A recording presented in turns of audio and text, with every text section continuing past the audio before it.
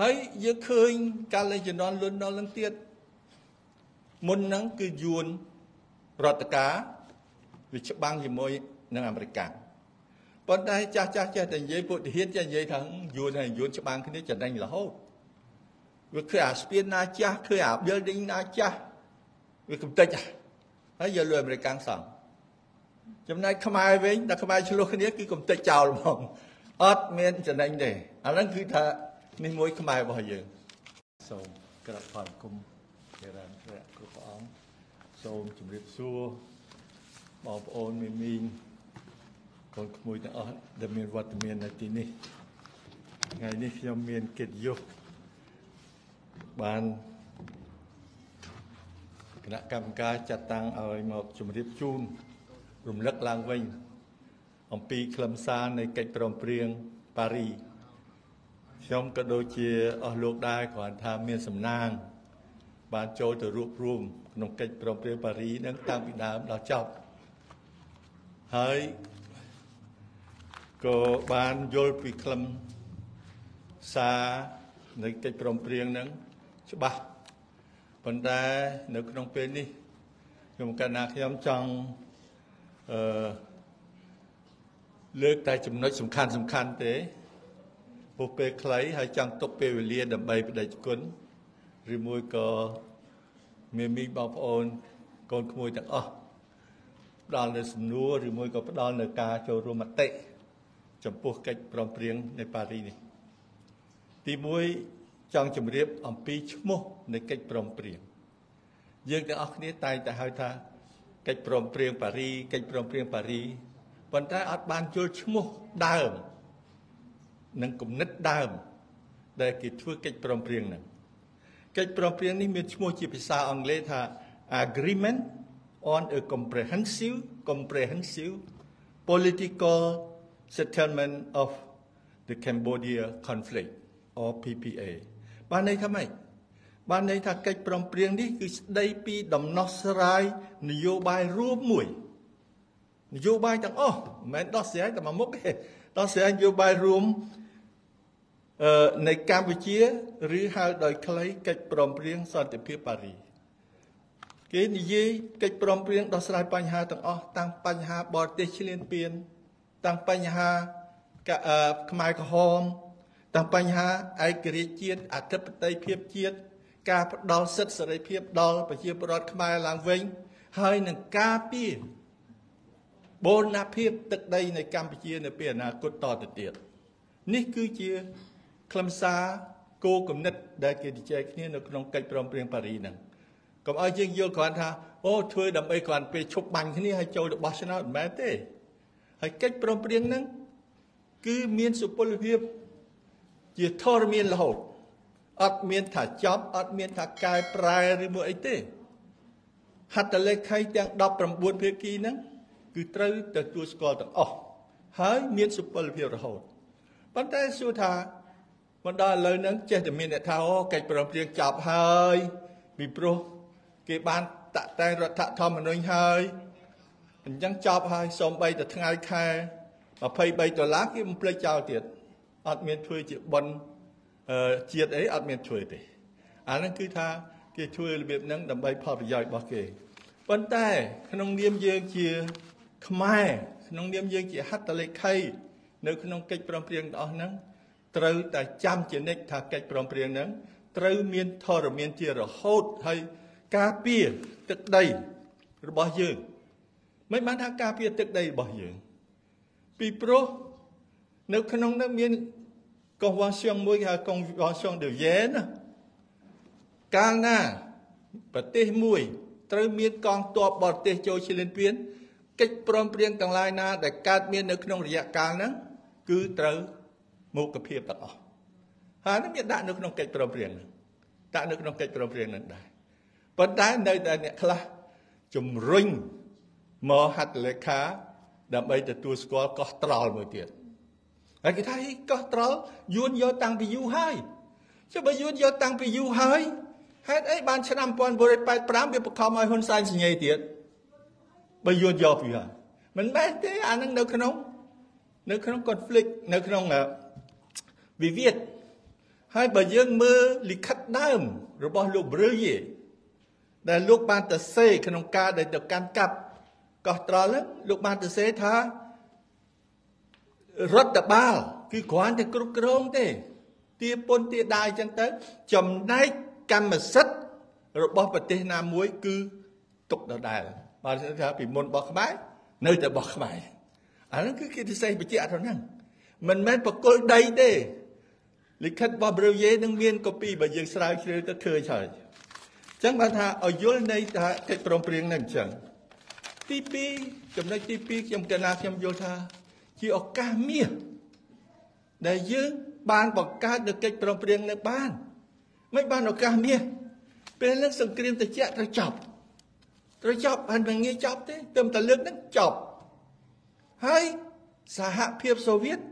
ត្រូវរលាយ ខាងបកកុម្មុយនីសខាងកុម្មុយនីសត្រូវរលាយឥឡូវគេឡើងហៅសូវៀតគេហៅរុស្ស៊ីពីដើមជាសហភាពសូវៀត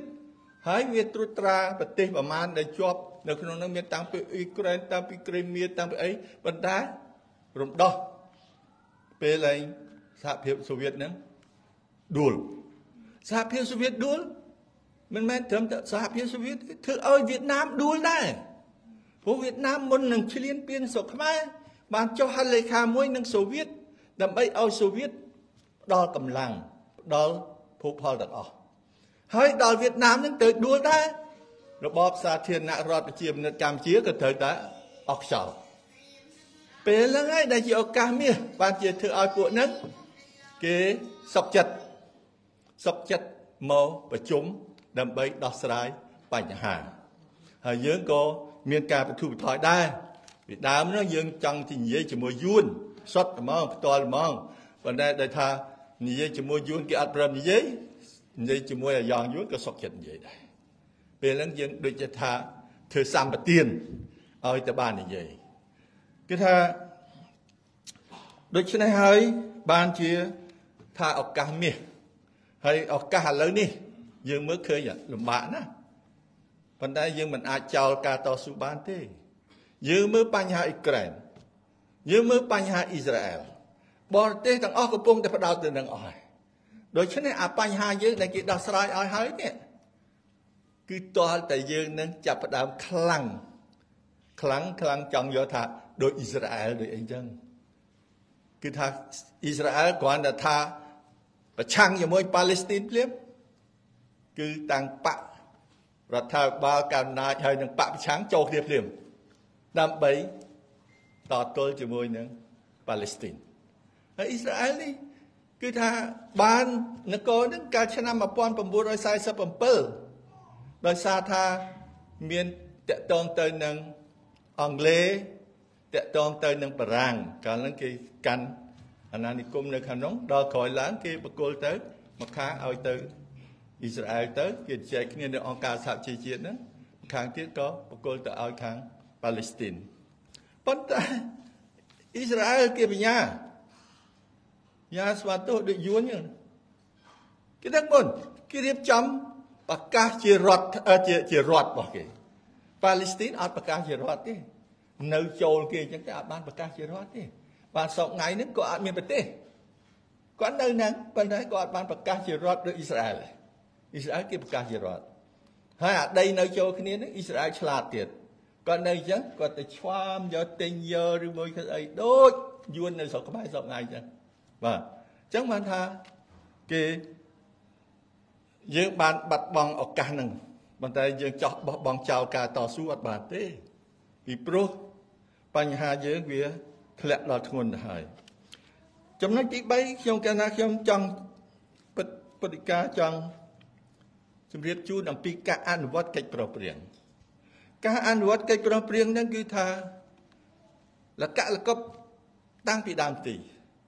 យើងចាប់ប្រជុំតាំងពីឆ្នាំ1989 1989យើងប្រជុំបានទាំងអស់អត្ថបទមានគ្រប់ប្រមាណមេត្រាហ្នឹងប៉ុន្តែយួនហើយនឹងភ្នំពេញអត់សញ្ញេដើម្បីអីគេចេញទៅភ្នំពេញវិញដើម្បីគេដកទ័ពជាឯកតោភាគី បើគេដកពេលតាមកិច្ចព្រមព្រៀងនេះ គឺត្រូវមានការត្រួតពិនិត្យហើយក៏ដាក់ឯកតោហ្នឹងគឺថាខ្លះថាដូរតែសម្លៀកបំពាក់ទេហើយខ្លះទៀតទៅឲ្យមកវិញអាកន្លែងមកវិញខ្ញុំកណាជាចៃដន្យទេជាកប៉ាល់ហោះមួយជួប academic យួនទៅមកពីប្រជុំនៅអូទ្រីសហើយសួរទៅ គេខ្ញុំកណាខ្ញុំក៏គេសួរថាខ្មែរតើអត់ទេឥណ្ឌូនេស៊ីហើយសួរគេរឿងស្រុករឿងយួនចូលស្រុកខ្មែរតើយួនទៅណាអស់ទៅគេឆ្លើយថាអូគេបញ្ជូនទៅវិញអស់ហើយសួរបញ្ជូនវាម៉េចទី1គេធ្វើច្បាប់រោងចក្រនៅស្រុកយួនណាបើកាលណាទទួលទាហានអតីតទាហានត្រូវបង់ប្រាក់ខែលើសកម្មករធម្មតាដូច្នេះអារោងចក្រវាអត់រើស វារើសតែកម្មករដែលមិនអតីតយួនអញ្ចឹងវាថាអូទៅស្រុកខ្មែររកស៊ីតប៉ះកង់នេះណាម្ល៉េះវាទៅវិញអស់អានេះតាមសម្ដីរបស់អ្នកដែលអាកាដមិកនឹងប្រាប់ខ្ញុំកណាខ្ញុំគេគឺគេរៀបចំបញ្ជូនទៅចឹងមករហូតដល់រឿងបងប្អូនកម្ពុជាក្រៅប្រហែលជាយល់ច្រើនយើងអារឿងវាយកដីអីបងប្អូនខ្មែរកម្ពុជាក្រៅដេញគ្នាចេញទៅមកវិញ អឺរឿងដីដីវាវាអត់ឲ្យការកាប់វិញឬថាតវ៉ាហ្នឹងក៏មានដែរអញ្ចឹងគាត់ថាយួនគេដើរមកជំហានមុនយើងដូច្នេះអូនតាក់ទៅ មានបាច់នេះណាទៀតអូនតាក់អត់បានត្រួតពិនិត្យមើលទេហើយអានឹងហើយដែលជាលេសធ្វើឲ្យខ្មែរក្រហមទី1ភ្នំពេញធ្វើបាតកម្មវាយខៀវសំផតដែលជាសមាជិក SNC បែកក្បាល ត្រូវទៅជាបាលនៅបាកកត្រឡប់មកវិញខៀវសំផតទៅដកតអឺដកដកខ្លួនចេញពីកិច្ចព្រមព្រៀងដកចេញពីការបោះឆ្នោតដោយយល់លេសថាអ៊ុនតាក់អត់បាន verify ពួកយួនដែលលាក់ខ្លួននៅក្នុងប្រទេសកម្ពុជាទេអានេះគេគេយល់លេសហ្នឹងហើយមួយទៀតអឺ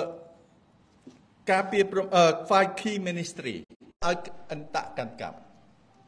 ប៉ុន្តែអន្តៈអត់បានកាន់កាប់អស់ទេ ជាពិសេសសន្តិសុខពួកខាងចូលពីព្រៃទៅចូលពីចូលដែនទៅ ត្រូវប្រមូលអាវុធដាក់ម្ដុំចំណែកពួកភ្នំពេញគេប្រមូលដែរតែគេមានកន្លែងលាក់គេមានកន្លែងលាក់ដូច្នេះអានឹងមួយគឺថាយើងទៅបោះឆ្នោតបថុយប្រធានមែនតើពេលហ្នឹងសកម្មជនរបស់គណៈបក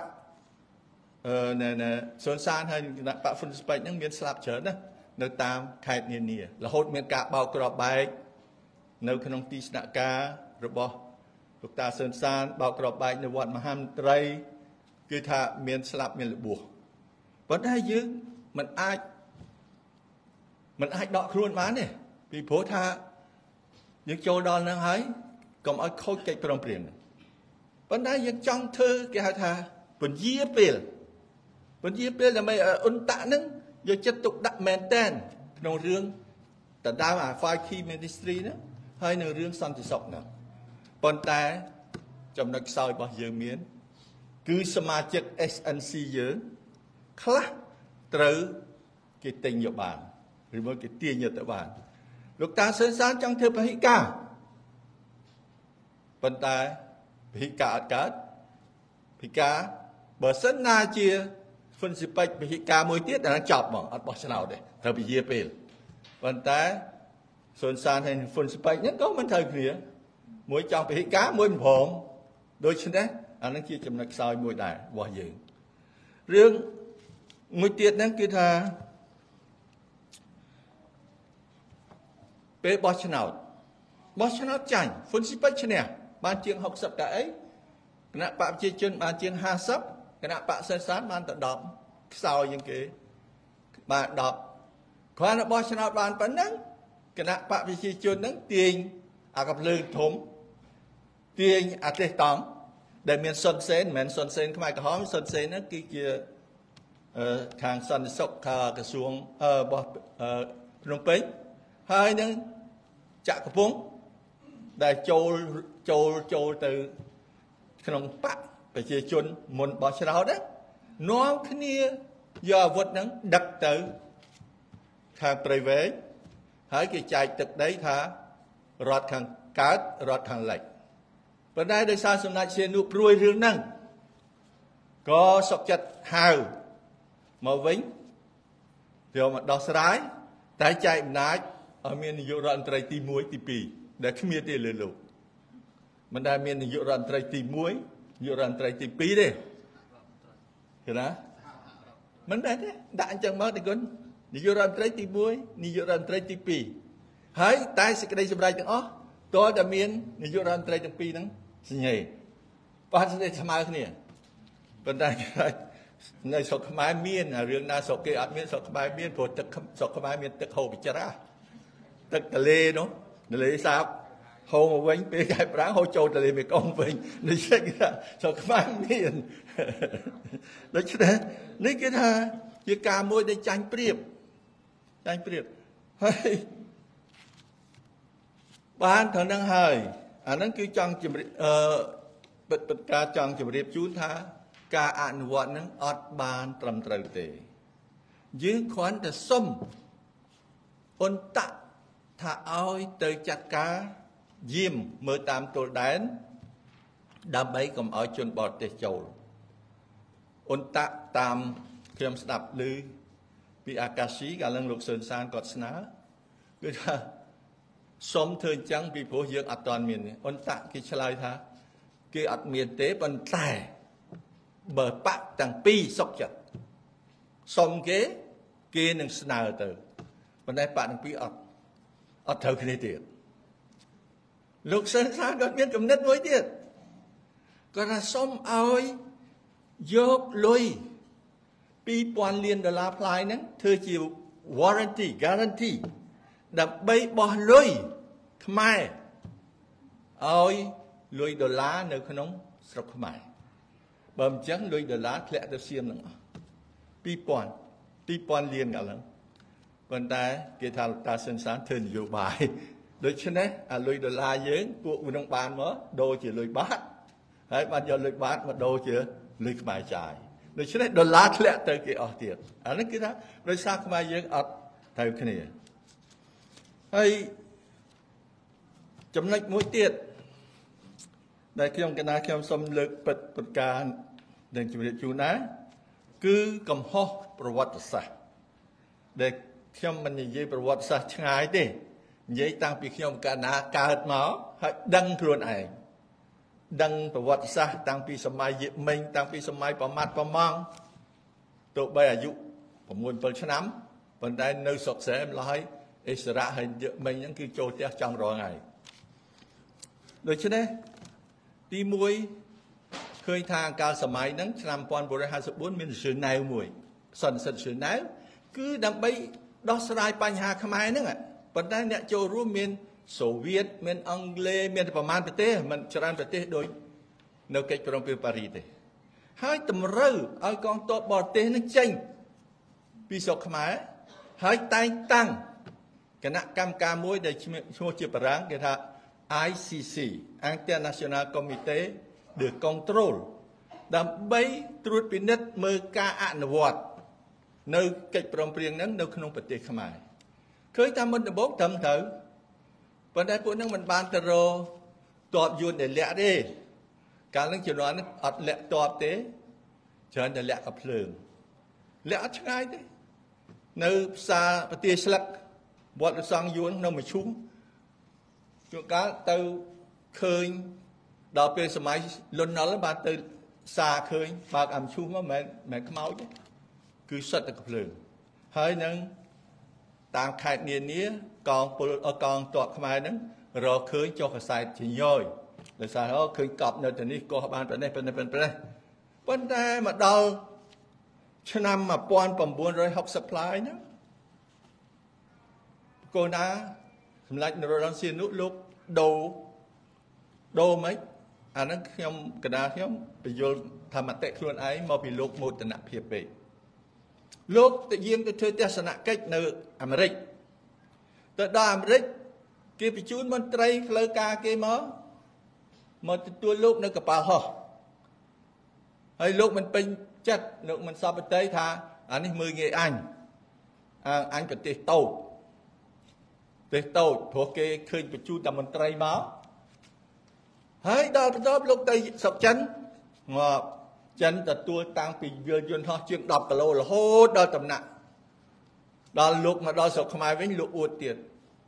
លោកអួតថាអូចិនគេមហាមិត្តនេះអរណាអានឹងក្រោយពីសន្និសិទបានដងហើយហ្នឹងគឺលោកបានស្គាល់ជួអេនឡាយហើយតាមការអញ្ជើញរបស់ជួអេនឡាយលោកបន្ទោសអាមេរិកកាំងហើយអាមេរិកកាំងសាក់កាំងហើយឥឡូវពីអាកាំងហ្នឹងពួកខ្មែរនៅអាមេរិកកាំងអត់និយាយអាមេរិកកាំងនិយាយអាកាំងដែរពួកអាកាំងគឺជាពាក្យដែលបន្ទោសបង្អាប់ របស់សម្ដេចសៀនុលោកបន្ទោសថាអាកាំងចៅតាព្រោះប្រើពាក្យអាកាំងយើងពីដើមក្នុងរឿងអាកាំងហ្នឹងគឺថាអាកាំងច្រើនប្រើតែតាស្អីទេឥឡូវទៅអាមេរិកហើយទៅសួររឿងស្អីគឺគាត់ថាម៉េចគាត់ថាអាកាំងគាត់ហៅគ្នាគាត់អាកាំងដែរសឹកពួកអាកាំងក៏អត់យល់ហើយពេលហ្នឹងក៏មានពាក្យខ្មែរក្រហមពាក្យហើយពាក្យនេះស្អីខ្មែរខៀវ បើណែខ្មែរក្រហមថ្ងៃនេះខ្មែរខៀវឯនេះអាពុកចាំខ្ញុំកណាខ្ញុំហ្នឹងថ្ងៃនេះទៅខ្មែរខៀវទៅព្រោះរៀងដូច you brainer you brainer ហ្នឹងជាតួឯកអាមេរិកម្នាក់ក្បាលតពេកអីចឹងដូចគ្នាចឹងគេទៅ you brainer ខ្មែរខៀវស្អែកខាងស្អែកឡើងទៅខ្មែរក្រហមវិញណាព្រោះយកចិត្តរាជធ្វើតំណាងរាជដាំបាយឲ្យរាជឲ្យតែរាជមកហ្នឹងឲ្យលុយតាក់តងមានការអីតាក់តងឲ្យឲ្យលុយទៅវិញម្ល៉េះរាជស្រឡាញ់ បោះឆ្នោតមិនដែលនេះអីគឺថាជាប់ទី3អាណត្តិប៉ុន្តែរឿងអស់នេះគាត់ចង់ពិត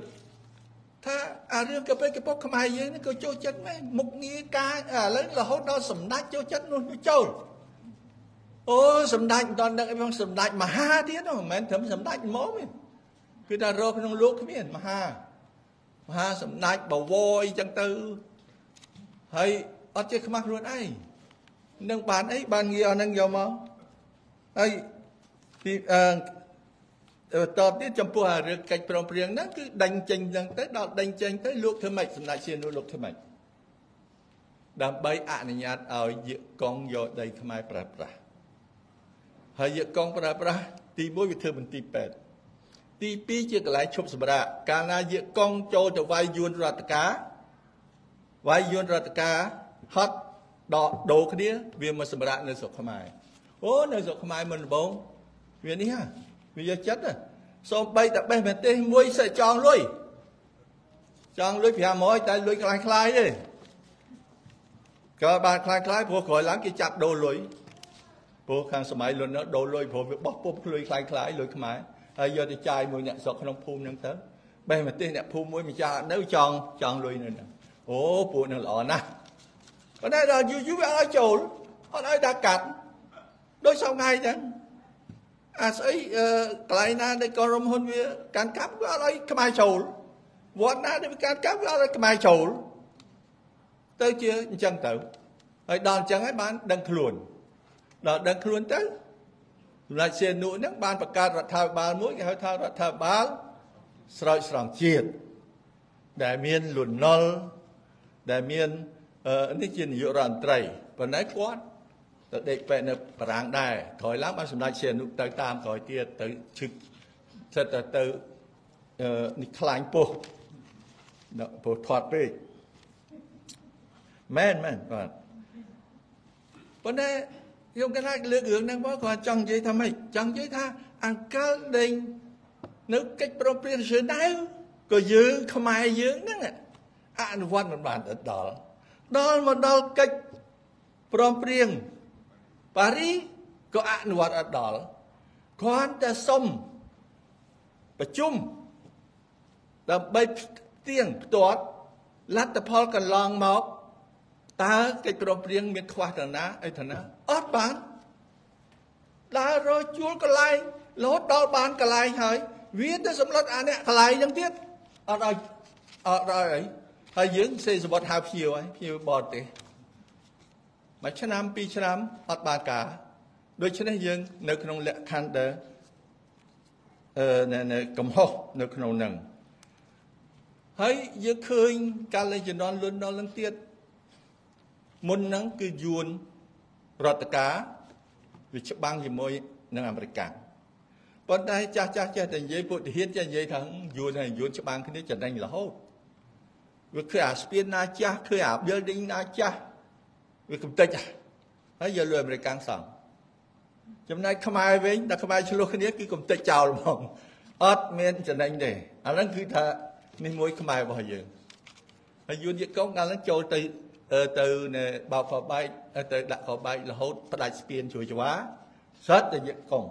ជាង100នាក់ស្លាប់អាហ្នឹងអាហ្នឹងនៅភ្នំពេញហ่ะដូច្នេះ យួនខាងត្បូងខ្ញុំគឺថាខ្ញុំបានផ្សល់ផ្នែកស្គាល់ស្គាល់ផ្នែកគឺថាមានអាពេលខ្លះអេលីកូស្ទូចស្ទូចគោយកទៅលាក់ខាងដៃវាហើយចូលទៅមើលក្នុងអាទិសតង់វាព្រោះវាទៅ occupy នៅក្នុងផ្ទះមុខផ្ទះខ្ញុំសិតតែជ្រូកក៏មានអាកណាត់ខោអាវពីផ្សារប្រហែលអានោះយកទៅទាំងអស់ដាក់នៅក្នុងដាក់នៅក្នុងអាទិសតង់វាយកទៅសុកវិញអញ្ចឹងបើថាវាមកមិនជួយល្អហ្មងទេប៉ុន្តែដល់ក្រោយឡើងទៅក៏ចាប់វិញទៅ ការអនុវត្តអានេះជាកំហុសប្រវត្តិសាស្ត្រហើយឥឡូវនេះឃើញទៀតដែរក្នុងកិច្ចព្រមព្រៀងគេឲ្យយើងអព្យាក្រឹតយើងត្រូវតាក់ទងខាងលិចក៏បានខាងខាងខាងខាងខាងកើតក៏បានប៉ុន្តែឲ្យមានស្មារតីគ្នាយើងធ្វើចាប់ដើមដំបូងត្រូវគ្នា ខាងអាមេរិកក៏យើងសម្ពយុទ្ធជាមួយខាងអូស្ត្រាលីក៏ជាមួយជាមួយចិនក៏ជាមួយសម្ពយុទ្ធយោធាស្រាប់ទៅដល់ឥឡូវរវល់អត់បានធ្វើទេជាមួយអាមេរិកកាំងវល់មួយរុស្ស៊ីអត់បានធ្វើទេមិនដែរធ្វើជាមួយចិនហើយសង់ស្អីកំពង់ផែមួយនៅសមុទ្ររៀមគេសុំទៅមើលឲ្យមើលតែឲ្យមើលតែខាងខាងនេះអាកន្លែងសំខាន់អត់ឲ្យមើល ហើយសុំមើលទៀតថាអានឹងសន្តិស្អីគេថា security មើលអត់បានដូច្នេះគឺគេលាក់រហូតហើយកាលដែលយើងឃើញកាលជំនាន់យឹកមិញគេយកខ្មែរក្មេងៗតាំងខ្ញុំកណាអីហ្នឹងគេថាអត់ហ៊ានចេញក្រៅផ្ទះទេពីដើមធ្លាប់ដើររើសគួរស្រូវដូននំកោមិនឲ្យពុកអត់ឲ្យចេញទេព្រោះប្រមាត់ប្រមាំង5000នាក់ឃើញទេ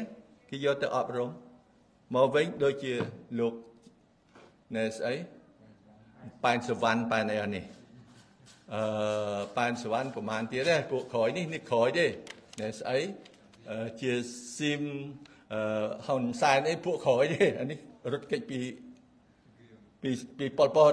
ប៉ុលពតវាតាមមកទៅហើយពីស្លាប់ជាស៊ីមក៏តែសៅភឹមហើយសៅភឹមហ្នឹងក៏ អឺខ្ញុំកណានឹងបានឃើញគេបោះត្រាក់បោះអីដែរព្រោះនៅចិត្តគ្នា មួយនៅខាងនេះតលេខ្ញុំកណានៅខាងនេះតលេអឺដូច្នេះកំហុសមួយទៀតគឺយើងអត់ឲ្យធ្វើបនជាតិ23ដុល្លារអត់ទេតាក់ទងមិនគឺអត់ដែរ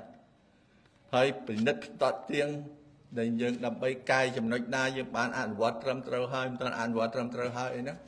ក៏អត់ឲ្យដែរដែរខ្ញុំទូមគុំផ្ទាល់ខ្ញុំគិតថាផ្ទាល់គឺថាព្យាយាមអស់5ឆ្នាំអស់រយៈកាល5ឆ្នាំអត់បានជោគជ័យដល់មុនដំបូងដែលវាសន្ទុះដែលយើងខំមែនតើគេធ្វើខ្លួនគេវិញតែគេអត់ហៅអ្នកដែលដឹងរឿងកិច្ចព្រមព្រៀងប៉ារីទេគេគ្រាន់ថាកិច្ចព្រមព្រៀងប៉ារីហ្នឹងគេបានយកមកចូលក្នុង រដ្ឋធម្មនុញ្ញហើយប៉ុន្តែការពិតខ្ញុំកណាមិនបញ្ចេញឈ្មោះទេតំណាងដែលខាងហ្វុនខាងដែលគណៈបកប្រជាជនបញ្ជូនឲ្យទៅនេះនោះគេនិយាយទល់កណាអញ្ចឹងអឺអង្គុយចិត្តគ្នាអញ្ចឹងខាងមុខគេមានបាំងវឹងណនអត់ឲ្យឃើញជើងយើងទេយើងអង្គុយហើយនោះនិយាយវាខុសតែទេតែអ្នកនោះមកខ្សឹបប្រាប់ខ្ញុំណា ថានិយាយរត់ខ្លួន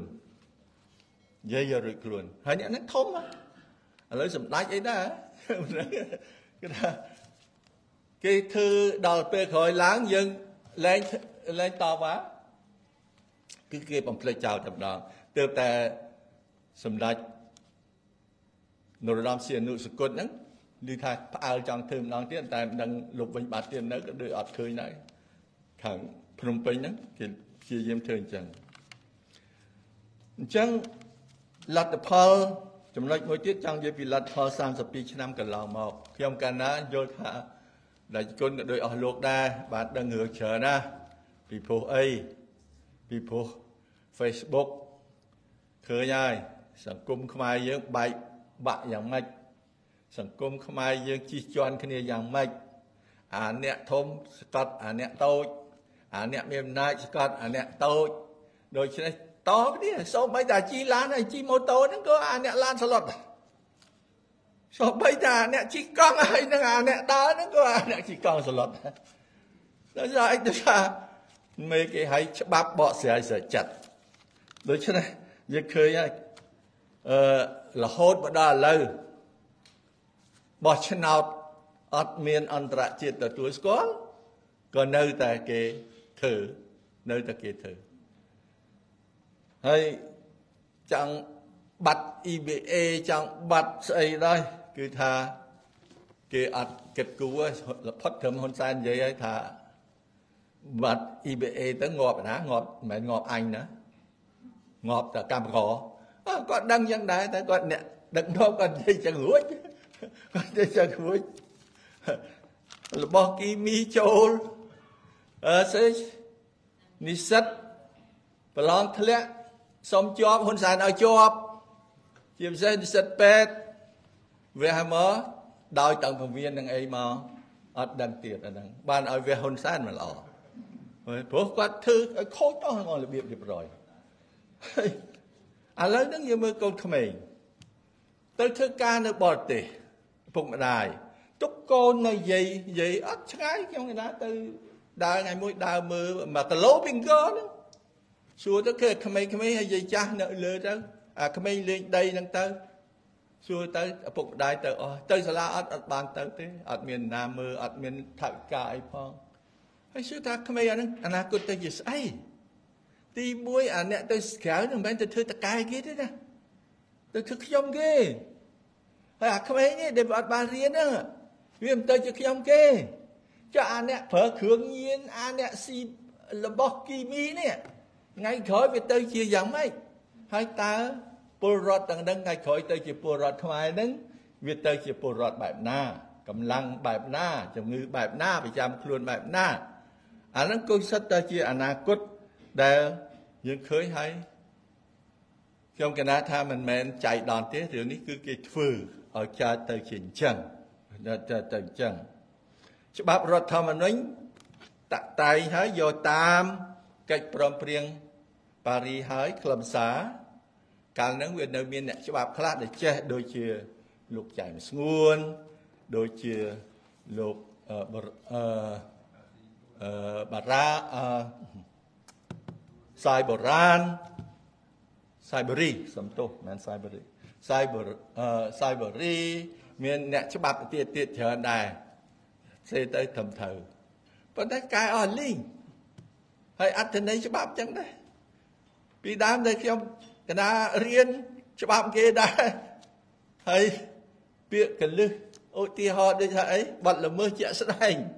អាហ្នឹងគេឧទាហរណ៍ថាអាចោលហ្នឹងកំពុងកាន់កាភ្លើងអាអ្នកខុសហ្នឹងកាន់កាភ្លើងកំពុងកាន់តែគេមិនចាប់ត្រូវបាញ់គេងាប់ហើយអាហ្នឹងគេហៅបាត់ល្មើសជាក់ស្ដែងហើយនេះបាត់ល្មើសជាក់ស្ដែងទៅចាប់កម្មសខាដេកកដាលយប់នៅផ្ទះ ហើយជាក់ស្ដែងគេហើយចេះតែបកទៅរួចអាមេធាវីគេទៅក៏បកអាមេអាចៅក្រមគេក៏បកអញ្ចឹងហើយបកទៅរួចអញ្ចឹងហើយមិនដឹងជាយ៉ាងម៉េចបានទៅអញ្ចឹងអស់ទៅអត់ដឹងដែរអត់ខ្ញុំគណៈមិនដឹងដែរហើយសង្គមខ្មែរបែកបាក់ឥឡូវប្រហែលថ្ងៃនេះឃើញលោកសង្ឃទុដងហើយលោកសង្ឃនៅក្នុងវត្តនឹងទាស់គ្នាទៀតឃើញអ្នកស្រុកក៏ទាស់គ្នាអ្នកកាន់ជើងខាងនេះកាន់ជើងខាងនោះ ហើយអំពើពុករលួយ បើមិនបានសោកទេសូមបីតតភ្លើងណាខ្ញុំកណាផ្ទាល់ហើយសូមតភ្លើងសូមតភ្លើងពីព្រោះអាភ្លើងកាលបងឯកជនអស់តែ20000ទេសុំតទៅរត់ព្រោះរត់គេថាគេមានបណ្ដាញទៅដល់ហើយត្រូវត្រូវសោកគេដែរ ដែលអត់សោកគេថាអាអ្នកធ្វើការអត់នៅសួរទៅណាអូទៅសួរម៉ែឲ្យឈឺនៅពេទ្យបាត់ហើយហើយយើងធ្វើម៉េចបើយើងសោកគេអានឹងកុំព្យូទ័រនឹងមានសោបើកមាន password បើអត់ទេអត់មាន password ទេដល់ហើយដល់ទៅចង់សាកមើលទៀតទៅពឹងពាក់តណាងរាតាក់តងឯកឧត្តមមើលគាត់តភ្លើងប៉ុណ្ណឹងសួរតិចបានទេ ឲ្យជួយតិចថាបងលុយគេទៅហើយដល់ទៅម្ដងទៀតហៅជាងមកជាងភ្លើងមកគេសុំតែ400ដុល្លារទេគេតឲ្យហើយគេថាម៉ាស៊ីនត្រជាក់20ដាក់ក្នុងផ្ទះហ្នឹងអត់លើសពី50ដុល្លារទេហើយគេថាទៀតគេថាណែអស់លោកទាំងអស់មកពេញហ្នឹងគេធ្វើរបៀបហ្នឹងទាំងអស់ ខ្ញុំកណាថាហ្នឹងតាក់អញហើយពីព្រោះជួនកាលវាធ្វើអញ្ចឹងដើម្បីយើងធ្វើទៅថ្ងៃក្រោយវាចង់ឲ្យរឿងយើងវាអញ្ចឹងរឿងអញ្ចឹងអន្ទាក់ទេអាហ្នឹងដូច្នេះកុំយកកុំធ្វើតាមគេសុខចិត្តអត់ដើម្បីអត់ធ្វើម៉េចតភ្លើងបានភ្លើងសុកចិត្តឲ្យលុយទៅណាមួយទៅសោកអញអត់សោកទេធ្វើម៉េចឲ្យគេតដល់ដល់អញ្ចឹងទៅបានទៅប៉ុន្តែរបៀបអញ្ចឹងហើយសូម្បីតែអីវ៉ាន់ក្នុងផ្សារក៏អញ្ចឹងដែរ គឺតែពុកឲ្យលួយហើយនិយាយរត់ត្រូវអត់បានទៀតទិញមនុស្ស10តាមផ្លូវស្រាប់តែម្នាក់ទៅទិញដែរគេមានជីងក្នុងកប៉ៅគេខ្ញុំថ្លឹង1គីឡូបាន8ខាំហើយតែអត់ទេចឹងយកតែពីរទៅកុំឲ្យថាអត់ចង់រឿងយ៉ាងទៀតទៅដល់ផ្សារយ៉ាងទៀតទិញបកងទិញបកងថាធ្វើខ្លួនឯងក៏បានដែរ ប៉ុន្តែដល់យើងដល់ជីងមកគាត់ពិឆក់ជីងអត់ឲ្យយើងឆ្លងទេហើយស្រាប់តែចាប់អាបកងហ្នឹងឯងតម្លាក់វាលេងជីងអស់ហើយទៅទៅទិញផ្សារទៀតអ្នកតោកទៀតអត់ហ៊ានលក់ទេគេថាយីពេកហ្នឹងមេដើម្បីទៅទិញត្រូវខ្សឹបស្កាត់ស្កាត់ស្ងោក្នុងផ្ទះអត់ហ៊ានស្ងោក្រៅទេពីព្រោះខ្លាចមេហ្នឹងហើយខ្ញុំថាអានេះធ្វើបានតែម្ដងតើ បើយើងលក់ឲ្យត្រឹមត្រូវទៅថ្លៃថោកអីឲ្យត្រូវគីឡូគេទៅព្រោះកាលណាអត់គ្រប់គីឡូខ្ញុំមានអារម្មណ៍ថាខ្ញុំចាញ់បោកអត់ទេអត់ធ្វើអញ្ចឹងគេថាធ្វើតែអញ្ចឹងហើយប្រាប់ទាំងសាលាក្រុងចៅអាយក្រុងអីឲ្យបំបត្តិទៅប៉ុន្តែអត់ទេព្រោះនឹងគេអត់ចេះបំបត្តិទេណាអត់ចេះបំបត្តិទេគេចាំមានមេក្នុងផ្សារហ្នឹងមានមេប៉ាវហ្នឹងគេថាកូនចៅអត់បានទេចាំបានខ្ញុំកណ្ដាពើពុកកលួយ ហើយស្ថានភាពសេដ្ឋកិច្ចខ្ញុំកណ្ដាក៏ធ្វើស្រូវដែរនៅស្រុកខ្មែរកណ្ដាធ្វើដែរប៉ុន្តែនឹងធ្វើមិនហីពូជតលយកពីយួនបានយួនទិញហើយតម្លៃហាងឆេងនៅលើយួនយួនឲ្យថោកឲ្យថ្លៃនៅហ្នឹងហើយបើយើងអត់លក់អត់អត់លក់អត់ចឹងមកថាយួនកាន់សេដ្ឋកិច្ចទាំងអស់នៅក្នុងហ្នឹង ភ្លើងណាទឹកហើយមន្ត្រីខ្មែរគេឲ្យទៅរៀនពីយួនមន្ត្រីខាងនេះមិនអីទេប៉ុន្តែខាងសន្តិសុខខាងប៉ូលីសទាហានគេឲ្យទៅរៀននៅយួនហើយរៀននេះរៀនរបៀបឈួតឈួតក៏មានដែរគេទៅឲ្យរំអាលិអាឡក់អាម៉េចមានស្រីមានគូអីចឹងទៅមកវិញឡើងសាក់មកវិញឡើងសាក់ហើយវាអត់មកធ្វើអីទេវាទៅធ្វើចកាទៅវាទៅអីទៅអានឹងមានណាគាត់ថាវាធ្វើអញ្ចឹង ហើយស្រូវអញ្ចឹងដែរយើងមើលសពថ្ងៃរហូតដល់អីរដ្ឋមន្ត្រីមុននោះគាត់បិទអាជ្រូកមកពីក្នុងមកពីក្រៅដើម្បីឲ្យជ្រូកក្នុងប្រទេសឡើងថ្លៃស្រាប់តែហ៊ុនសែនថាធ្វើចំការនេះបើកឲ្យចូលមកហើយធ្លាក់ទៀតរដ្ឋមន្ត្រីហ្នឹងដាក់អារដ្ឋមន្ត្រីថ្មីទៅរឿងស្រូវក៏អត់ណាទិញថាអ្នកស្រែមិនចេះលៃពេល ធ្វើឲ្យទៅគ្នាអានេះបានអត់ស្គាល់ប្រាំងស្គាល់សាមែនហើយធ្វើរដ្ឋមន្ត្រីហើយមួយទៀតស្អីយើងលឺហើយសលេងវាវាថាម៉េចចាត់ការទៅអាណាវាយទៅឬមួយអីទៅទៅដល់ស្រុកគេមិនដែលដាក់គុកនឹងយូរទេទៅដល់ស្រុកទៅយើងចាំឲ្យចាំវាទៅអាមួយទៀតថាអទៅដល់ស្រុកវិញអាណាខូចពីហ្នឹងទៅគ្រោះតាក់ ចរាចរទៅ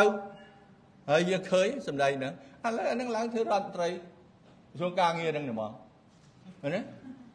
ហើយយកមនុស្សចឹងទៅអាណាមួយរដ្ឋមន្ត្រីណានោះកាលណាចោលលួចកុំព្យូទ័រគេឡើងឥឡូវឮថាដកមិនដឹងយ៉ាងម៉េចទេ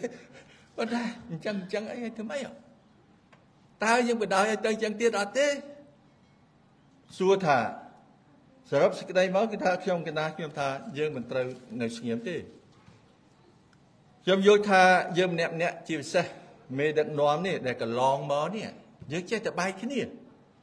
បែកគ្នារហូតដល់ពី3នាក់នៅបែកគ្នាទៀតបែកគ្នាអារឿងសំណោកសោកប៉ាន់អារឿងផលប្រយោជន៍មិនមែនរឿងរស់ទេបើត្រឹមតែមរស់មិនសូម្បីតាខាងខ្ញុំកណានេះអៀងបលីនេះនិយាយចំមុខ ពេលចូលជាមួយគេខ្ញុំកណាសួរថាមិនធ្វើអញ្ចឹងសួរតែមួយម៉ាត់ទេព្រោះសម្ដេចក៏ប្រាក់ឲ្យខ្ញុំកណាហ្នឹងទៅជីកប៉ាល់ហោះជាមួយពីក្រោយពីអ្នកអៀមលីចែកគ្នាបែបគេចង់ទាញមួយទៀតកំឡឹងឯងតែសួរថាគេឆ្លើយជាអង់គ្លេសថា question of survival ខ្ញុំថានៅជារួមយើងរស់កើតមកដល់មិនគេរស់មិនកើតរស់មិនកើតព្រោះមកពីមិនព្រមដាក់ខ្លួន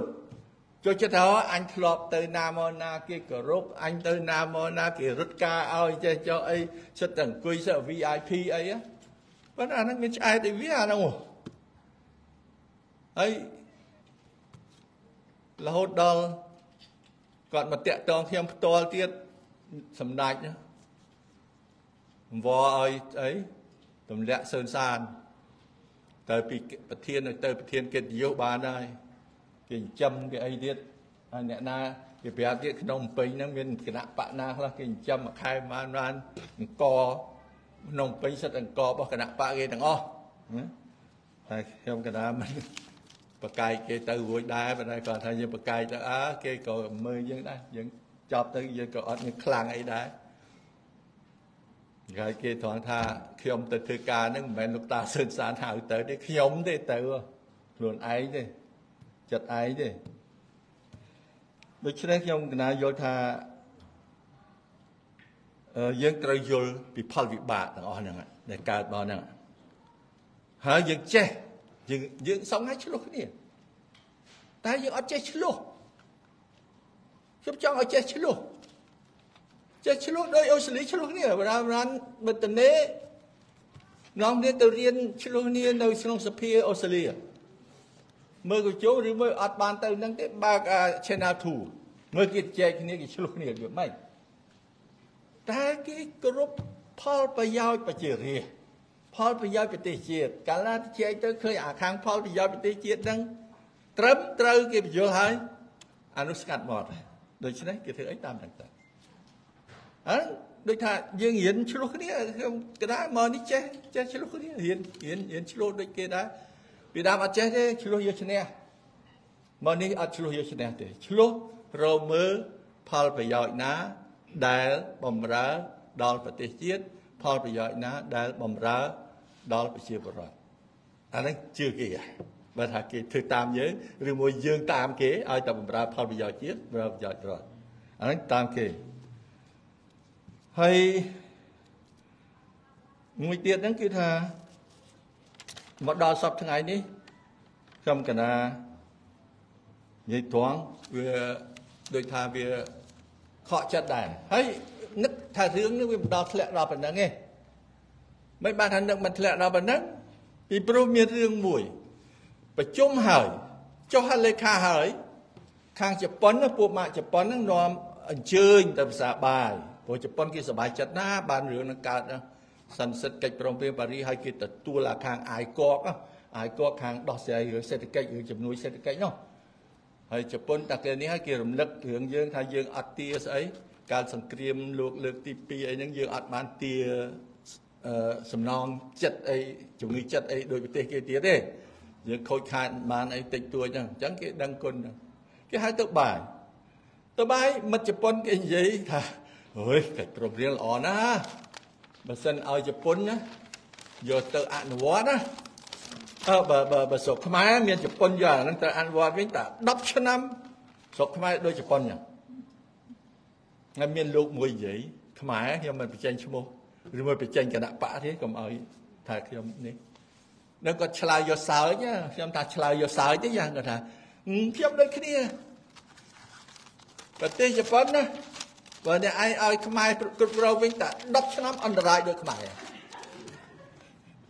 នាំគ្នាសាយគលប៉ុន្តែឥឡូវឃើញគឺរបៀបហ្នឹងគឺរបៀបកិច្ចព្រមព្រៀងប៉ារីហ្នឹងយើងអនុវត្តមកបានលទ្ធផលអញ្ចឹង32ឆ្នាំនេះហើយខ្ញុំកណា expect ថាតែ25ឆ្នាំហ្នឹងគឺយូរផងប៉ុន្តែឥឡូវ32ហើយការអប់រំដល់ណាហើយលើកកម្ពស់ដល់ណាហើយ ពេទ្យលើកកម្ពស់ដល់ណាហើយពេទ្យឈឺរត់ទៅបរទេសឈឺរត់ទៅបរទេសការអប់រំបណ្ឌិតរាប់មិនអស់បណ្ឌិតនឹង copy paste ច្រើនណារួមតាអ្នកធំធំប្រមាណហ្នឹងមកប្រាប់ខ្ញុំកណាហ្នឹងថាអូយស្រួលទេដាក់ឈ្មោះឲ្យគេទៅបង7000ទៅបានហើយបណ្ឌិតហ៎ថាអូយកចូលមិនយកទេបណ្ឌិតនោះ ចឹងគេ copy paste ទៅហើយយើងទៅមានបាច់ស៊ឺធានាអាខ្លះទៀតបាច់ស៊ឺធានាទេតែស្នឹងហ៎ដើម្បីអីគេគាត់ធ្វើជា group ឥឡូវ master ឬមួយក៏បណ្ឌិតគេធ្វើជា group ហើយកូនសិស្សហើយរៀនទៅអញឲ្យលុយហើយដល់ពេល presentation ដែលធ្វើទៅអញជាប់ដែរហើយធ្លាក់អញធ្លាក់ដែរ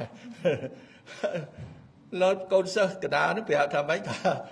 ពុកវាមករៀនថ្ងៃសៅរ៍ហើយថ្ងៃអាទិត្យ ថ្ងៃសៅរ៍ថ្ងៃអាទិត្យហើយអត់ទៅចូលទៀតស្រាប់តែបានបណ្ឌិតគេដែរព្រោះគាត់មកពីខេត្តបានថ្ងៃសៅរ៍អាទិត្យគាត់បែកគ្រួសារសបាយគាត់មកផឹកអីនៅពេញអាហ្នឹងកូនសិស្សនិយាយផ្ទាល់មកបានថាហើយបើបញ្ហាអញ្ចឹងយើងពឹងមិនច្បាប់ក៏បកស្រាយខុសអាកិច្ចប្រព្រៀងក៏បកស្រាយខុសហើយឥឡូវជាខុសតទៀតខុសរហូតដល់អីបោះឆ្នោត អាណាមានសុពលភាពសក្តានុពលខ្លាំងអត់ហើយបោះណាភ្លើងទៀនអត់ច្បាប់ដើមហើយពួកហ្នឹងខ្ញុំឆ្ងល់ណាអេតាស៊ីវិលវាបាត់ទៅធ្វើម៉េចណោះឈប់យកគ្នាប្តីប្រពន្ធធ្វើម៉េចហ៎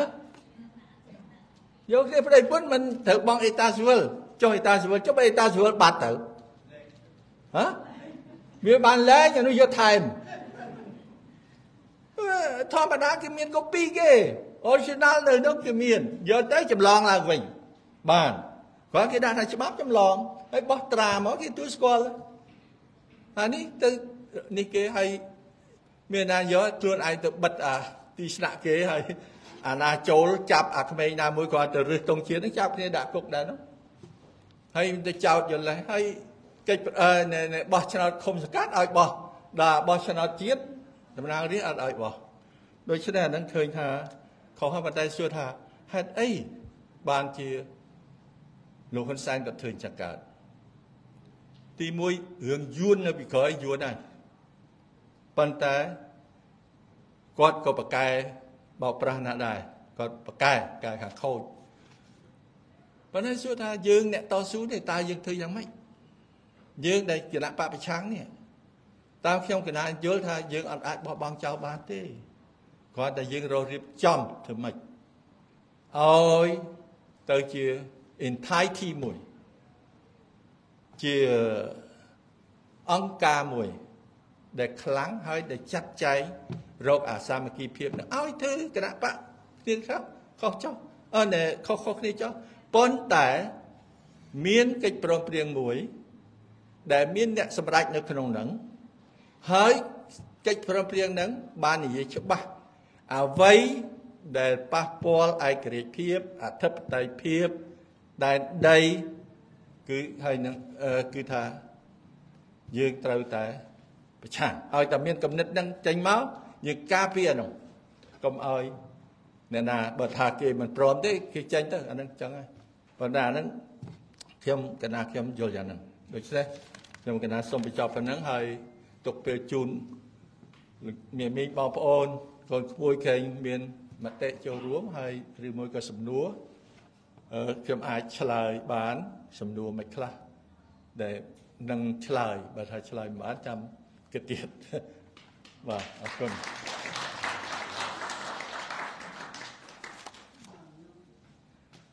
សូមបន្ថែមបន្តិចសំណួរមួយទៀតថាគេសួរថាហេតុម៉េចបានជាថៃសុកចិត្តឲ្យយើងទៅនៅទល់ដែនគេហើយរៀបតប តបទីង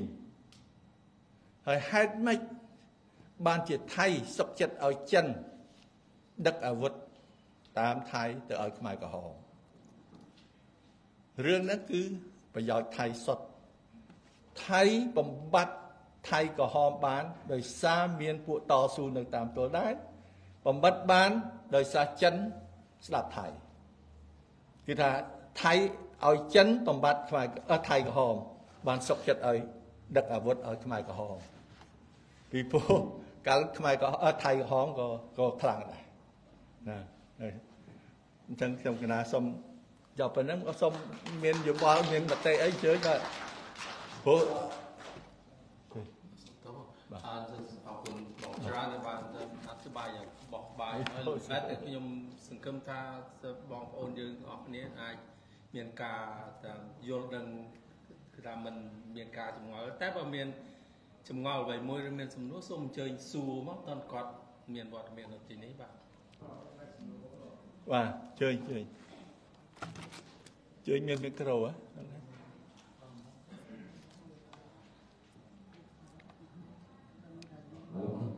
ខ្ញុំជាប្រធានមកសូមបាយគុំធេរាធេរាចតិស្ការៈញាតិញោមបងប្អូនរបស់សាសខ្មែរខ្មែរ ក្រមជនតទាំងអស់ដែលបានចំណាយជួយវិទ្យាល័យជើងជ្រៅមកចូលរួមកម្មវិធីខួប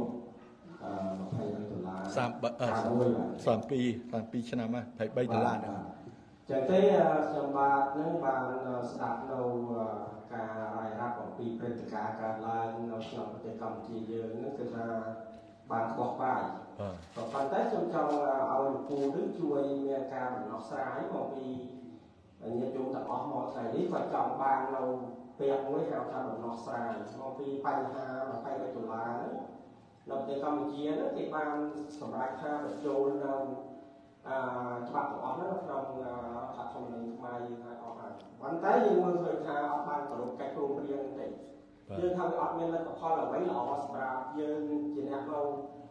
ការប្រជាធិបតេយ្យដូចព្រះអូសាលីជាដើមយើងឃើញថាប្រជាធិបតេយ្យគេពិតប្រាកដជាប្រជាធិបតេយ្យពិតមែននាំផលប្រយោជន៍ឲ្យប្រជាជនក៏ប៉ុន្តែប្រជាធិបតេយ្យនៅកម្ពុជានោះវាមិនបានឃើញអ្វីដែលហៅថាគួរឲ្យចាប់អារម្មណ៍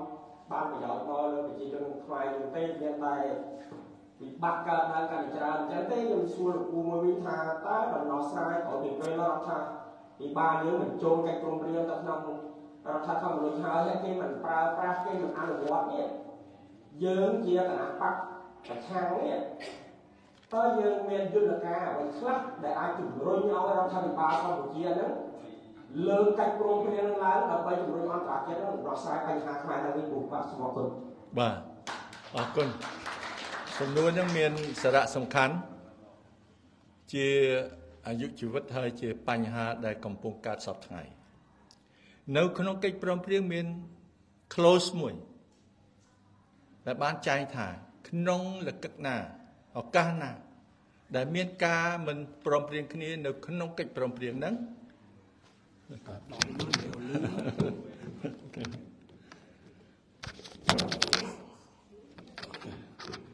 គឺថាបើកាលណាមាន ការទំនាស់គ្នាក្នុងការអនុវត្តកិច្ចព្រមព្រៀងហ្នឹងភាគីណាមួយ ក៏អាចលើកបានដែរលើកយកអង្គប្រជុំឡើងវិញដើម្បីដោះស្រាយប៉ុន្តែយើងមើលក្នុងកលៈទេសៈភាគីណាមួយបានន័យថាម៉េចរួមទាំងខ្មែរផងរួមទាំងខ្មែរផងប៉ុន្តែខ្មែរសពថ្ងៃលើកទេអត់លើកទេពីព្រោះគាត់រត់តែបំបត្តិមិនចឹងរត់តែបំបត្តិឲ្យគាត់លើកក៏អត់លើកទេរដ្ឋាភិបាលចុះពួកបរទេសបរទេសក៏គេមានកង្វល់របស់គេច្រើនដែរ ត្រូវយើង លើកទៅគេត្រូវយើងលើកទៅគេឧទាហរណ៍ដូចប៉ាឡេស្ទីនដូចនេះចឹងអ្នកក្រៅប្រទេសធ្វើអីបាតកម្មគ្រប់ប្រទេសយើងមើលនៅប៉ារីនៅស្រុកបារាំងនៅអូស្ត្រាលីនៅអាមេរិកនៅកាណាដាបាតកម្មណាហើយយើងក៏ធ្វើនៅក្រៅចឹងដែរតែខាងក្នុងក៏យើងត្រូវធ្វើបានដែរសពថ្ងៃនេះខ្ញុំឃើញមានមួយ មានពេកមួយ ដាក់ថាសន្តិភាពកិច្ចព្រមព្រៀងប៉ារីឃើញនិយាយត្រូវច្រើនធ្វើជ្រៅច្រើនដូចជា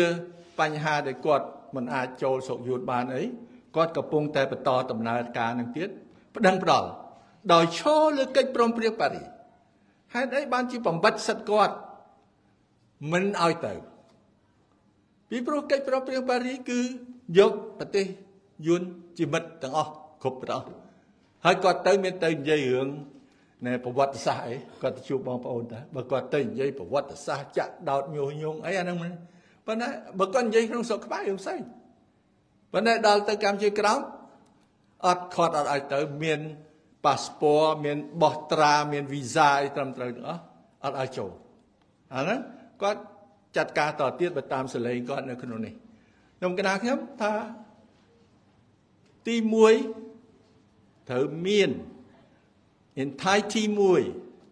ដែលមិនប្រកាន់បពុណាទេប៉ុន្តែគឺជាអ្នកដឹកនាំដឹកនាំការប្រយុទ្ធដឹកនាំការប្រយុទ្ធហ្នឹងបើបានគណៈបកទាំងអស់ដែលមានសន្យាគ្រប់គ្រាន់នៅក្នុងលក្ខខណ្ឌដែលខ្ញុំកណាបាន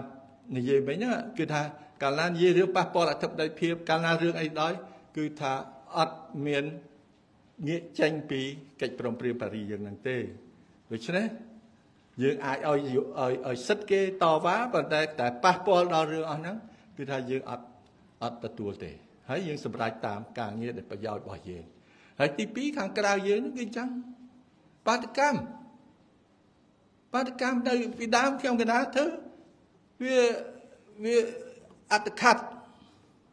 រត់តែលុយជួលឡានគេរត់តែលុយទិញកណាត់សេបដាហ្នឹងមិនបានផងប៉ុន្តែឥឡូវឃើញគេធ្វើស្រួលគេតែសុំធ្វើនៅមុខរដ្ឋសភាគេកុំទៅធ្វើនៅកន្លែងណាឆ្ងាយព្រៃអីវាមិនស្រួលមិនល្អទេសុំធ្វើតាមហ្នឹងមកនេះសុកចិត្តសំណាយពេលតិចច្រើនអីបានទៅដល់រដ្ឋសភាគេហើយយកញ៉ាត់ទៅដល់នឹងហ្មងទៅយកញ៉ាត់ទៅដល់ទូតនៅនឹងហ្មងទៅគឺថាយើងអាចជាមធ្យោបាយដោះស្រាយមួយហ្នឹងបាទ ប៉ុន្តែខ្ញុំនិយាយស្រួលទេណាប៉ុន្តែការធ្វើមិនស្រួលទេតលតែជ្រើសរើសមនុស្សហើយដាក់លក្ខខណ្ឌឲ្យច្បាស់លាស់បាទនឹងប៉ុណ្្នឹងបាទមានបងប្អូនណាមានយោបល់អីទៀតទេរឿងហ្នឹងធ្វើបាច់វិញ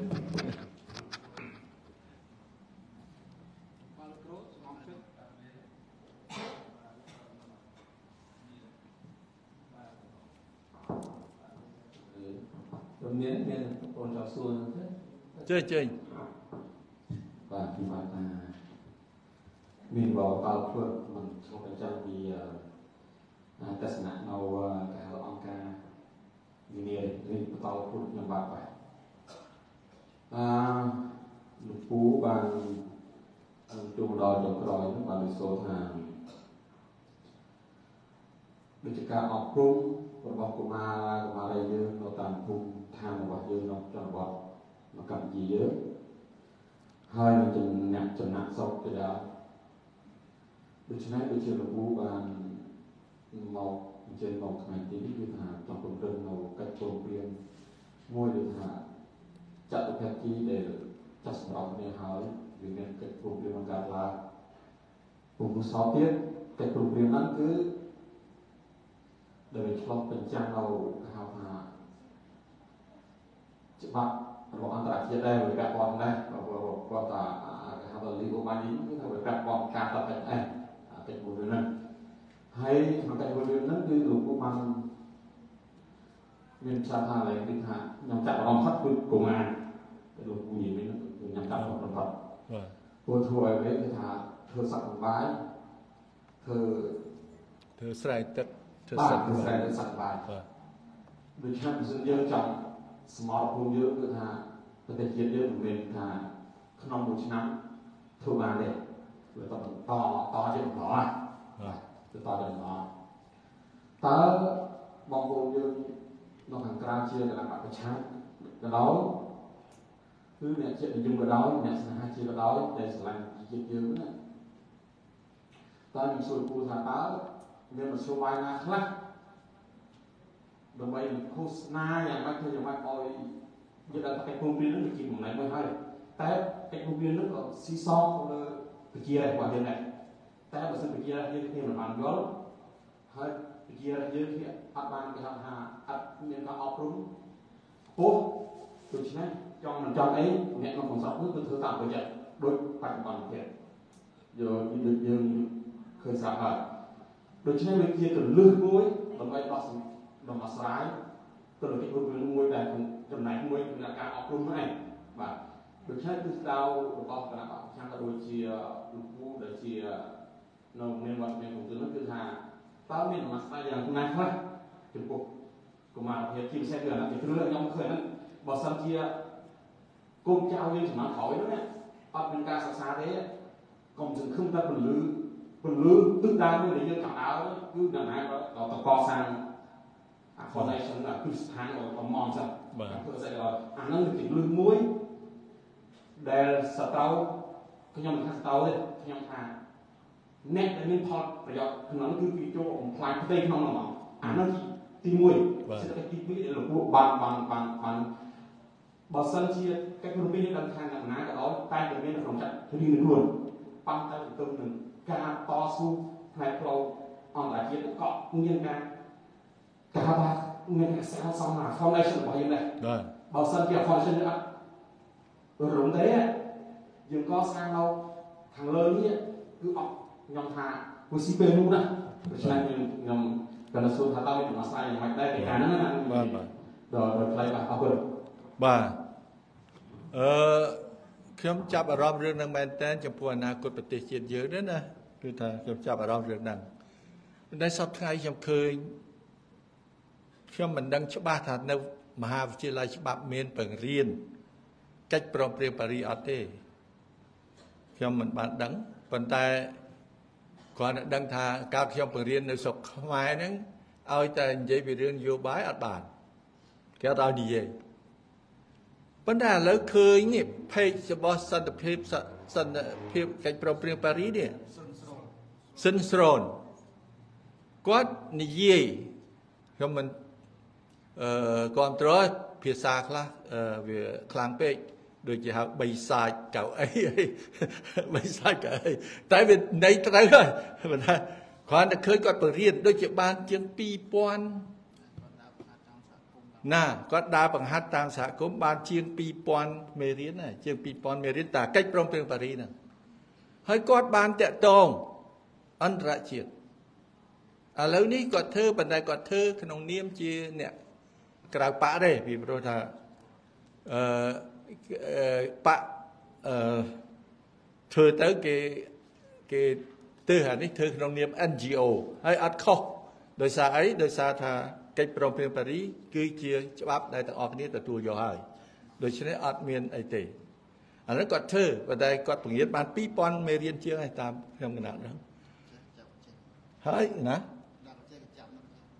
ចាប់នៅកញ្ចេះនៅ នេះអត់ឲ្យចូលប៉ុន្តែឥឡូវគាត់រៀបចំឯកសារប្តឹងប្តឹងដល់ទូតដែលជាហត្ថលេខីហើយគាត់ប្តឹងដល់អង្គការសហប្រជាជាតិទៀតពីរឿងហ្នឹងណាប៉ុន្តែសួរថាអាហ្នឹងរឿងមួយទូចប៉ុន្តែទន្ទឹមហ្នឹងនៅក្នុងគណៈបកយើងនេះឬមួយនៅក្នុង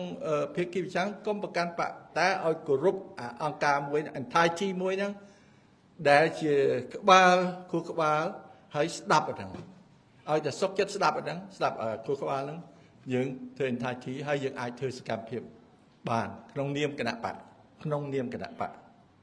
ពីព្រោះគណៈបករៀងរៀងខ្លួនប៉ុន្តែយើងគោរពលក្ខខណ្ឌប្រមាណអស់ហ្នឹង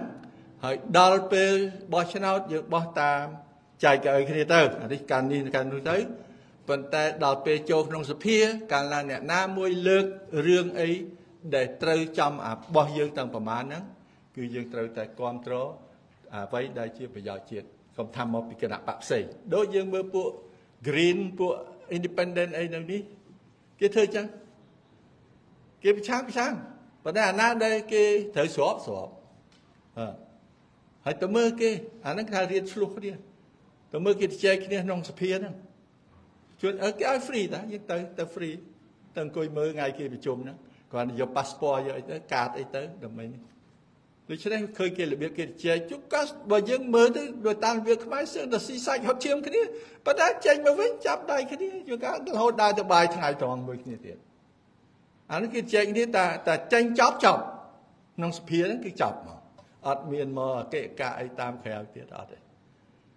ហើយបើថាគេតវ៉ាអានេះគេតវ៉ាតាមកសែតតាមទូរទស្សន៍អីទៅ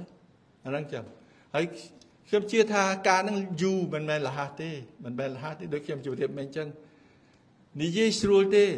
តែធ្វើនឹងត្រូវការទៀមទាមនុស្សដែលមកចត់មនុស្សដែលបដិញ្ញា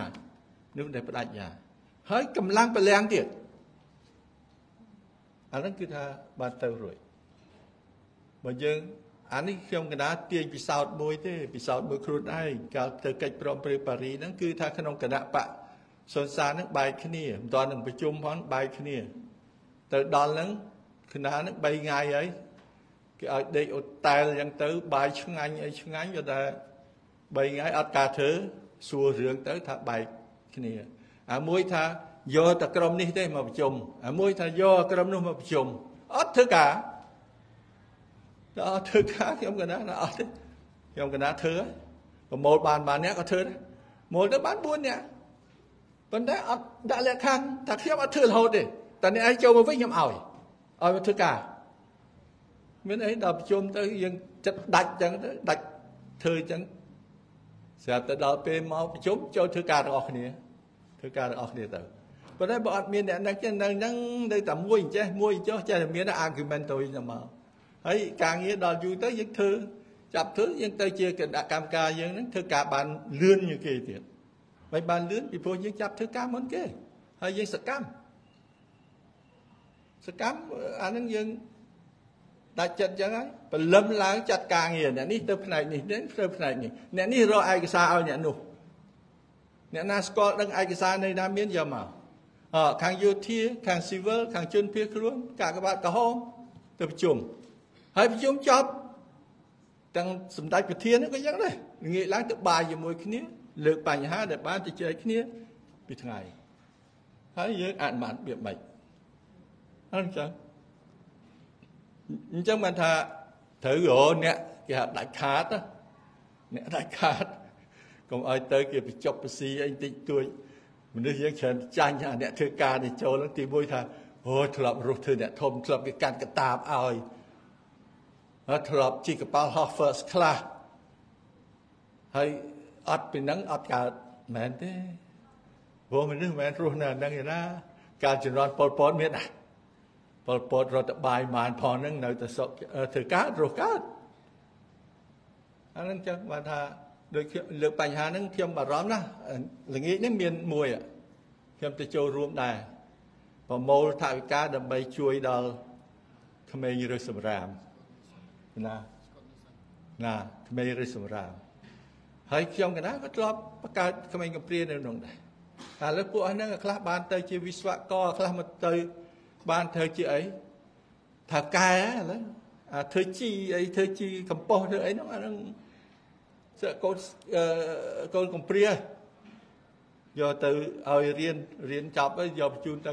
រៀននៅសៀមមកវិញធ្វើការរីកចម្រើនហើយពួកហ្នឹងក៏ឲ្យវារៀបចំកម្មាកំព្រាខ្លួនវាទៀត នៅចឹងចឹងបានថាអ្វីដែលយើងរៀបបានយើងអាចធ្វើទៅបើធ្វើជាអង្គការមនុស្សតបានធ្វើទៅជាខាងបរិស្ថានធ្វើបានធ្វើទៅប៉ុន្តែទោះបីវាចាប់ចងមិនក៏ដោយគឺថាដូចពួកក្មេងៗនៅមេដាធម្មជាតិអីហ្នឹងគឺថាខ្ញុំសុំសរសើរបាទហើយពួកហ្នឹងនិយាយមកគឺថាអឺកសែតអីក៏និយាយត្រូវដែរកសែតខ្លះ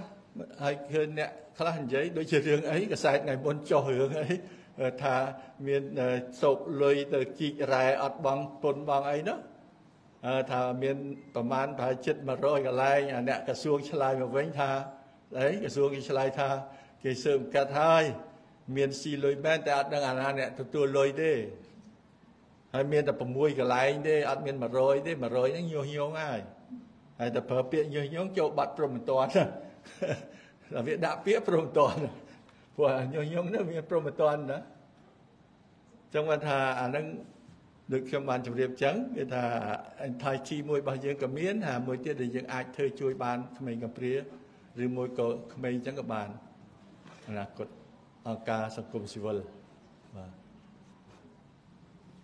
ជួយ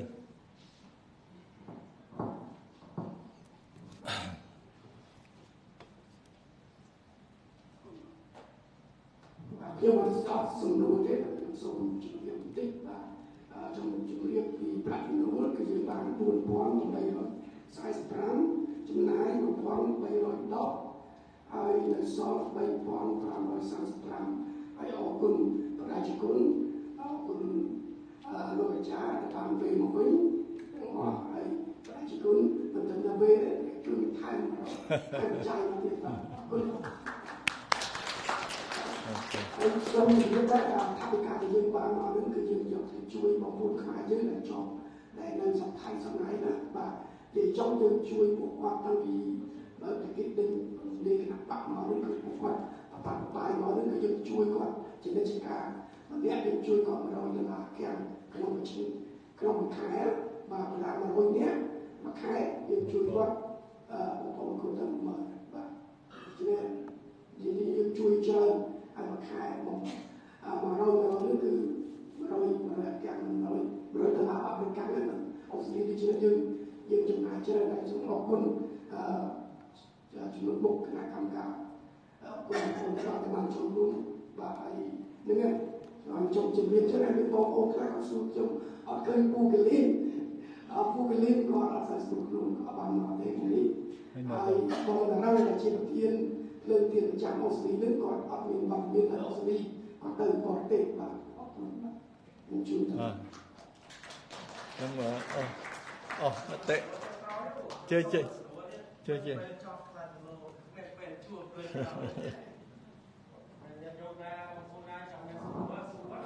ាទអញ្ចឹងនេះដូចជាក្រៅកិច្ចព្រមព្រៀងតិចលោកពូបាទបាទក្រៅនៅថា និយាយរួមទៅសប្តាហ៍នេះយើងចង់បានទៅឲ្យប្រទេសយើងកែប្រែស្ថានភាពនយោបាយទោះតែមានការបោះឆ្នោតហ្នឹងហើយជាប់គណៈបកមួយផ្សេងទៀតដើម្បីដំណោះស្រាយបញ្ហានៅស្រុកខ្មែរទោះតែមានការបោះឆ្នោតត្រឹមត្រូវអញ្ចឹងសួរថាយើងជាគណៈបកប្រឆាំងនេះបើសិនតែយើងហ្នឹងមិនបានចូលទៅក្នុងក្របខ័ណ្ឌរបស់រដ្ឋាភិបាលកម្ពុជាសប្តាហ៍តើយើងធ្វើអ្វីទៅ ដែលបានចូលទៅក្នុង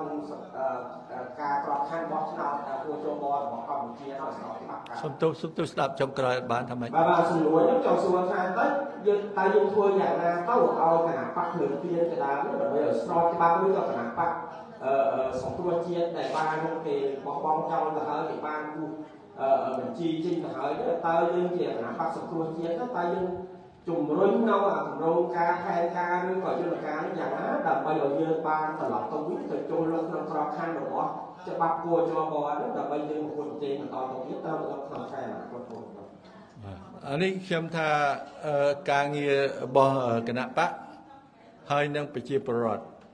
ជាពិសេសឧទាហរណ៍ដូចថាករណីលើកមុនអញ្ចឹងករណីលើកមុនបើគណៈបកនឹងត្រូវទៀមទាហើយប្រជាពលរដ្ឋចូលរួមអាហ្នឹងគឺថា ពួកហ៊ុនសែនក៏គេអាចគិតគូរបរទេសក៏គេអាចគិតគូដែរតែយើងនៅស្ងៀមខ្ញុំមិនអាចបន្ទោសគេបានព្រោះខ្ញុំអត់បានចូលក្នុងហ្នឹងណាគឺថាអាហ្នឹងបើតាមខ្ញុំវិញខ្ញុំត្រូវដើរងើបហើយហើយថ្ងៃក្រោយក៏អញ្ចឹងដែរត្រូវក្នុងគណៈបកយើងហ្នឹងពីដើមឃើញពួកហ្នឹងរៀបចំគេហៅថាដូច opposition អញ្ចឹងយើងមានផ្នែកខាងនេះផ្នែកខាងនោះទៅប៉ុន្តែវាកាច់បាក់ ដូចជាយកលោកស្អីខាងទាហានណាទៅថាយើងហ្នឹងចង់បះបោវាអត់យល់វា system សម្ោលណា opposition government ហ្នឹងណាប៉ុន្តែយើងធ្វើអញ្ចឹងក្នុងអង្គការរបស់យើងយើងមានមានចែកអញ្ចឹងអ្នកនេះអ្នកឯងតាមមើលតាមដានមើលខាងនេះអ្នកនេះតាមដានមើលខាងនេះតាមដានដោយ opposition ហើយដល់អញ្ចឹងយើងបានតួលេខមកច្បាស់ហើយតួលេខវាធ្វើយ៉ាងម៉េចនៅក្នុងហ្នឹងហើយលទ្ធផលយ៉ាងម៉េចយើងយកមកលើកជាក់ស្ដែង ហើយសេដ្ឋកិច្ចយ៉ាងម៉េចកុំឲ្យអីរដ្ឋត្រីក្រសួងការងារថាខ្មែរមាន ការងារធ្វើ90ជាង99%ហើយអត់មានណាតទេហ៎ណាអត់មានតគាត់និយាយទីទៅតែអត់មានអង្គការណាតណាដូច្នេះត្រូវមានអង្គការណាមួយតហើយអាកូពីរបស់យើងផ្ញើទៅទាំងអស់ press release របស់យើងផ្ញើទៅទូទាំងអស់ហើយដឹងអារឿងស្អីដែលនិយាយហ្នឹងក៏ផ្ញើទៅទូដែរ វានិយាយរឿងសម្លាប់អីអឺបើកឡានបុកបើកអីអត់នោះអាហ្នឹងមានផុសតាងតាសំលេងមកបាទប៉ុន្តែអាហ្នឹងយើងធ្វើប៉ុន្តែដូចខ្ញុំប្រាប់អញ្ចឹងទាល់តែមានអ្នកណាមួយបដិញ្ញាធ្វើហ្នឹងបាទនាំគ្នាបដិញ្ញាធ្វើហ្នឹងបាទហើយពឹងទៅលើកម្លាំងផងកម្លាំងហើយក៏អ្នកខ្លះក៏គ្នាមានបញ្ហាដែរមិនមែនបន្ទោសចិត្តហ្នឹងវាបំណងហ្នឹងវាធំហើយ ប៉ុន្តែវាមានបញ្ហាគ្រួសារវាមានបញ្ហាកម្លាំងបញ្ហាអីអញ្ចឹងបានថារឹសរអ្នកណាមួយដែលស្ម័គ្រចិត្តដាច់ខាតក្នុងធ្វើការធ្វើដំណើរហ្នឹងទៅបាទពីព្រោះបើអញ្ចឹងវាបញ្ចូលរហូតឥឡូវគ្រាន់តែពួកនេះរៀបចំគណៈបកប្រមាណពួកហ្នឹងវាទុកអាប្រមាណនោះបាន4 10 20ហើយគណៈបកហ្នឹងណាប៉ុន្តែគណៈបកហ្នឹងយកតែមេដឹកនាំទៅអារាយើងយកវិញមកបានស្អីថាយើងបំរើផលប្រយោជន៍អានោះវាដឹង វាមកខាងយើងហើយទោះបីចេញមុខចេញមុខក៏ដោយបាទបើតាមខ្ញុំដឹងថាប្រជាពលរដ្ឋហ្នឹងក៏វាមិនមែនល្ងងដែរបាទគាត់គាត់ថាវាអត់មានអ្នកសំអាងអត់អ្នកសំអាងឬមួយអ្នកនាំពាក្យចឹងសូមអរគុណបាទសូមអរគុណសូមថ្លែងគុំលាសូមសូមអរគុណបងប្អូនដែលបានសួរសំណួរសំខាន់ៗ